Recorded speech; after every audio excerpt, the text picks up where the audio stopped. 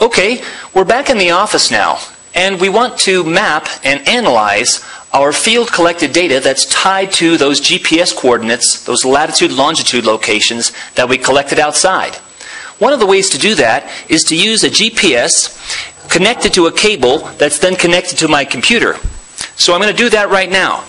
Every GPS device is different, so you need to make sure that you're connecting it correctly. In the case of this one, which is a GPS 76 from Garmin, I've got a, a small rubber sort of a notch uh, flap going on. And I'm going to connect my device to a cable. In this particular case, my cable has a little notch in the end, so it only fits one way. All right, so I connect that securely.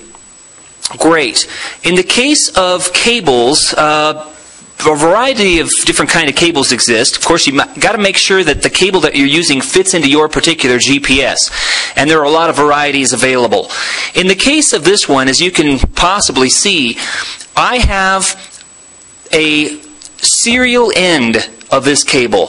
So what I had to do, since a lot of computers nowadays do not have the serial ports that they used to in the past, I'm going from a serial port to another cable that connects to a USB. So then I can go ahead on the back of my computer, connect the USB to the USB port, Then the next step is to turn on my GPS device and page through the introductory screens. Once I do that, my GPS device is on. Then I'm going to go ahead and fire up my favorite program for bringing in these points. As you know from reading that GPS to GIS a more perfect union document, there are a whole variety of different tools and utilities to bring in your GPS coordinates off of your GPS receiver into your computer. One of the programs that I've known and used for years is DNR Garmin from the Minnesota Department of Natural Resources. It only works with Garmin devices, but it works well and it's free and it outputs in a variety of different formats. One of which, or actually several of which, are very nicely compatible with your GIS. So I'm going to go ahead and fire up my DNR Garmin program.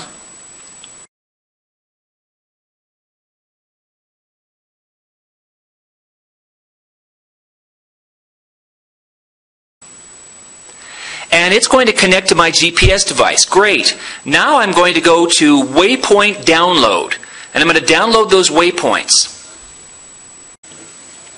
Once I do that, I'm going to have a whole set of waypoints uh, on my computer. Now, the nice thing about, one of the nice things about the DNR Garmin program is that before you bring all your waypoints in from your GPS device, you can actually edit that file. So if I don't want certain waypoints, I don't have to bring them in. Also, another useful thing about it is that I can download the track.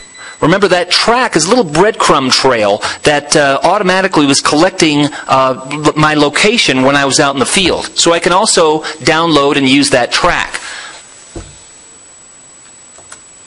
In my case, I only need the last few waypoints that I collected out there. And so I'm going to go to those waypoints right now. I'm going to verify that I have the waypoints I need by looking at the dates. So I collected some waypoints on a certain day. I'm going to highlight those and verify that those are truly the ones that I want. Now I'm going to go ahead and say, oh great, now that I've got my waypoints, I'm going to save to file. Select a location for these waypoints. As in all good data management, when you're working with geographic information systems, it's important to name these in a logical fashion and to place them in a logical folder. That way you'll be able to find your data later. There are several approaches to saving the files that you're downloading from your GPS device. I prefer to let the GIS do the projecting. So when I bring in my data, I usually bring it in as unprojected data. Again, there's a lot of choices available, and that document will step you through some of the advantages and disadvantages to saving it as projected versus unprojected. I'm going to bring in my data as unprojected. And the first thing I'm going to bring in is a waypoints unprojected shapefile. So I'm going to do that. And I only had, let's see here, one, two, three, four, five, six waypoints that I collected out in the field for those trees that we mapped. Great. I'm saving that. I'm also going to save the track. So I'm going to go to track download now. And I've got a whole lot of tracks, track points in my GPS. This is one of the GPSs I use quite often out in the field. So I have a whole lot of tracks in there. And what I found is it's best when it's downloading to not interrupt it. Don't do anything else on the computer even uh, while this thing is downloading. The reason why is because I think these these uh, these drivers that uh, operate with these cables and the ports they're just a little bit uh, sensitive so i think it's best not to not to do anything while the tracks or the waypoints are downloading and you'll have better results okay i've received a signal that my tracks have all downloaded onto my computer now i'm ready to work with them i've got my track points i've got a track line and i also have my waypoints all three of those i'll be able to work with in the context of my geographic information system. So I can analyze not only the data and the points where the data were collected, but also the route that I took to reach those data points.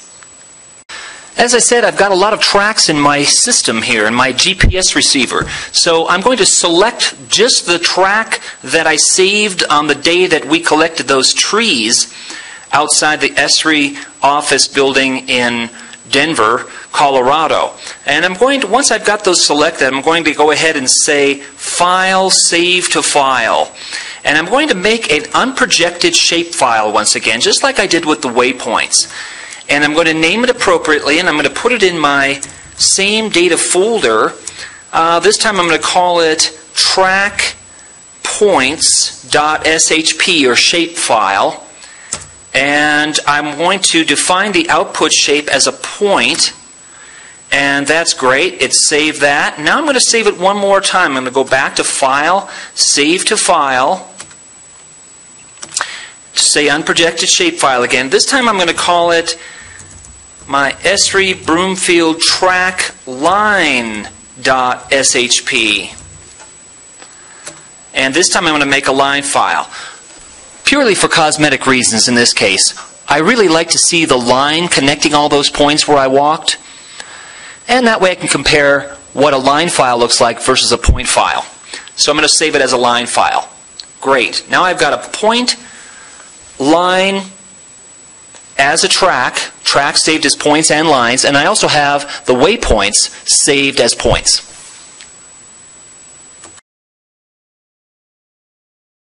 to do a cable that's connected to, to a computer. Cut. All right, we're back in the office, and we want to map and then analyze our GPS coordinates along with our field data. Cut.